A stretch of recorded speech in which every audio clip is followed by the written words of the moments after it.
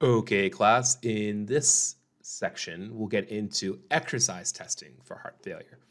So, um, probably one of the more common tests that you'll see used to assess exercise capacity in patients with heart failure is a six minute walk test. It's used extensively in heart failure research studies, it's used extensively in, in clinical practice, um, it's super easy, easy to utilize. Um, we have some great uh, cutoffs. I'm not sure why I have this two here. Let's cut, let's cut that off um, that if patients get below 300 meters distance um, covered, um, it's you know associated with a higher uh, mortality and morbidity um, with a minimally clinical important uh, change or difference of 30 meters. Um, and there's just some basics on setting up our course, and again, just a quick review of our um, of our length here.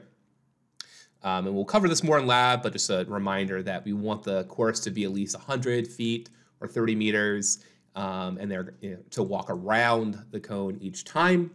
Um, and the shorter the course, right, the more turns they have to take. So it's going to artificially lower their level um, or score. So we really want to be cognizant of trying to use a standardized uh, course, and we'll, we'll cover that more in lab. Now, there are also uh, shuttle walk tests. So this is very analogous to the, the yo-yo test or the beep test, but it's basically the same concept using walking and a shorter distance. So uh, with this course, um, the patient uh, walks around um, or really between two, two markers that are nine meters apart. So we have 10 meters of distance total, and then they're inlaid about half a meter in and then uh, they walk you know, between these these two, intervals um, to an auditory signal. Uh, so unlike the six-minute walk test, which is self-paced, this is externally paced using an audio recording that you know, they make one beep and they have to get to the other end by the second beep, just like the the beep test or the yo-yo test for my uh, fellow former soccer players or rugby players out there, or lacrosse. I think lacrosse does it too.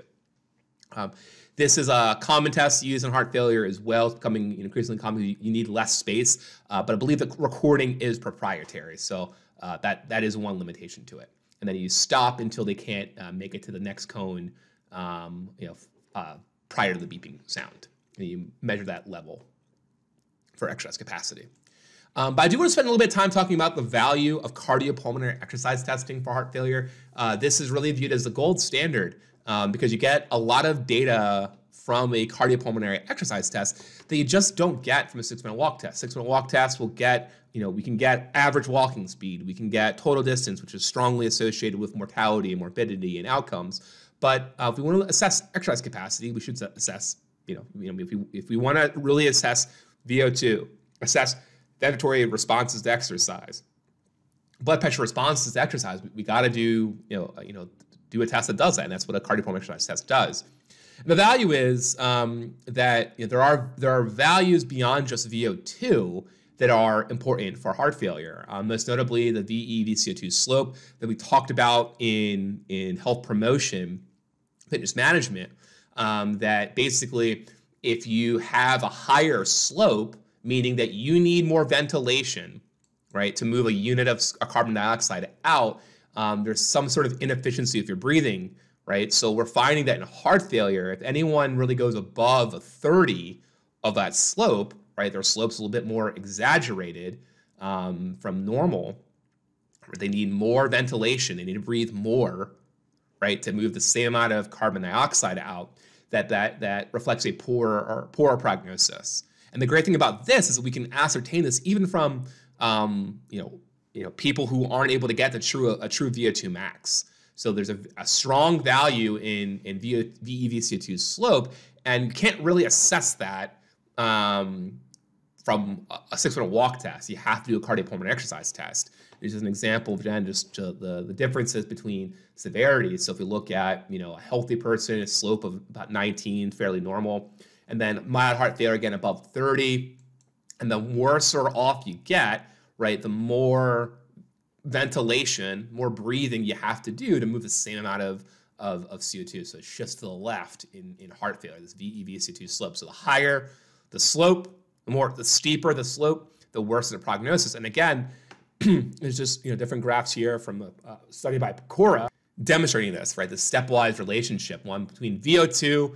strongly associated with you know long-term mortality. And again, the, the, the lower someone's fitness is, um, the worse off they are. The problem is most patients with heart failure may not even be able to do the eight to 12 minutes that you really need on an exercise test uh, to get you know, reliable VO2 data. Uh, but VEVCO2 slope, right? We can look at that um, early in exercise um, for measuring expired gases. So um, the other is that we also see this clinical manifestation of, of oscillatory ventilation, where we see this these oscillations in breathing, um, at least three or more, um, these fluctuations in the breathing pattern during exercise, um, which has an amplitude greater than 15% of the basal amplitude, and it persists for about 60% of the duration of the test.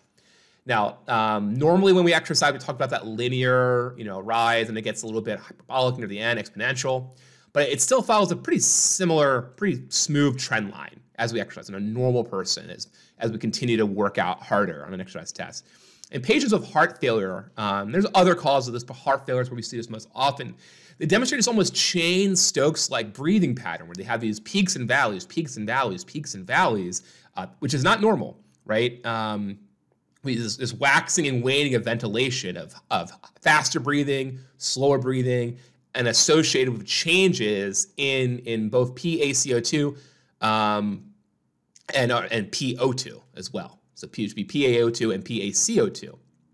Um, now this is uh, not normal because one, like both should both stay fairly stable during exercise. Arterial oxygen concentration and even CO2 shouldn't change much uh, except that at the end when PaCO2 actually starts to decrease, but should stay pretty consistent for most people. And we think this has to do with this, um, you know, abnormalities in ventilatory drive, which will then affect PaCO2, just slow breathing, then PaCO2 increases. So we see these, these fluctuations between uh, blood gases corresponding to the changes in ventilatory drive. And we really only see this in patients with heart failure because we think it has to do with the um, uh, issues with, with ventilatory efficiency even at rest. And then we impose the stress of exercise, we see the, this, this, this funky oscillatory breathing pattern um, in these patients. Um, we also think chemoreceptor drive may also play a role here. So this oscillatory ventilation and the presence of this is, is a very, very, very strong prognosis for um, poor outcomes,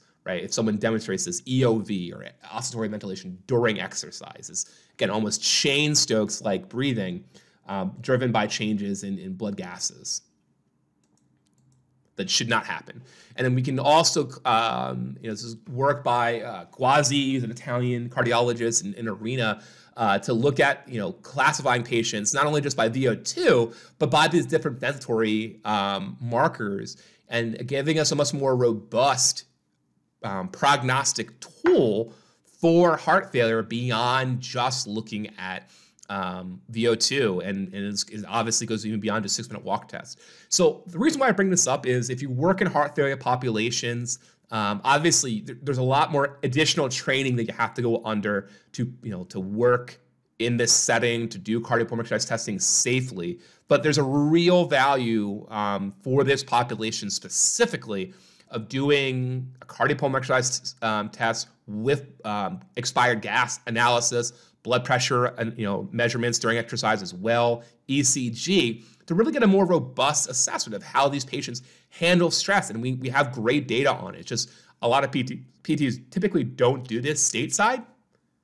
Um, and I, I, think it's a missed opportunity to serve these patients because we can get a much better understanding of their clinical status um, and then areas maybe that we can address uh, with rehabilitation. So um, I'll end here and then we'll move on to the rehabilitation management of patients of heart failure.